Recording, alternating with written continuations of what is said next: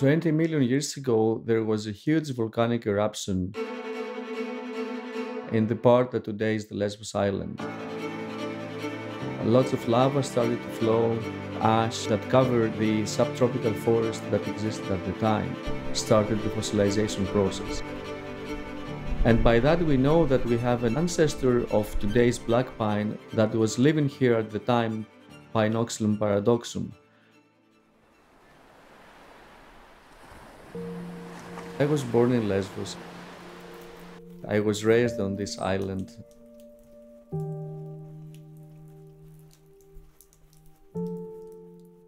When I first went up in the mountains, there were two big black pine populations. One of these populations is almost gone. We may lose them. The second population, which is still in very, very good condition, has to be preserved. Is the speed of environmental change that scares me.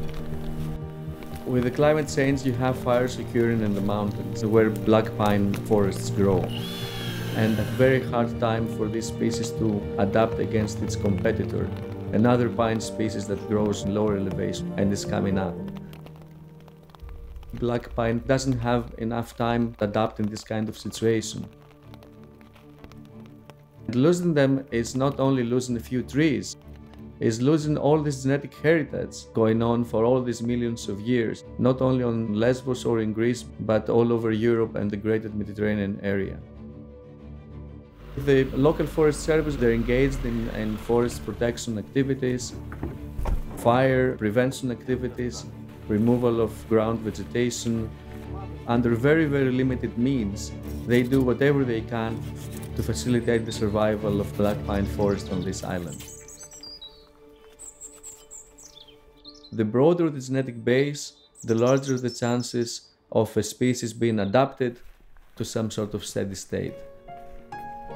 It's important to remember that this is the birthplace of Theophrastus, the birthplace of botany. Aristotle came here as well, and together they studied the fauna and the flora of this island. So it's very important that we continue this legacy and we try to study in depth these species and maintain their populations for future generations.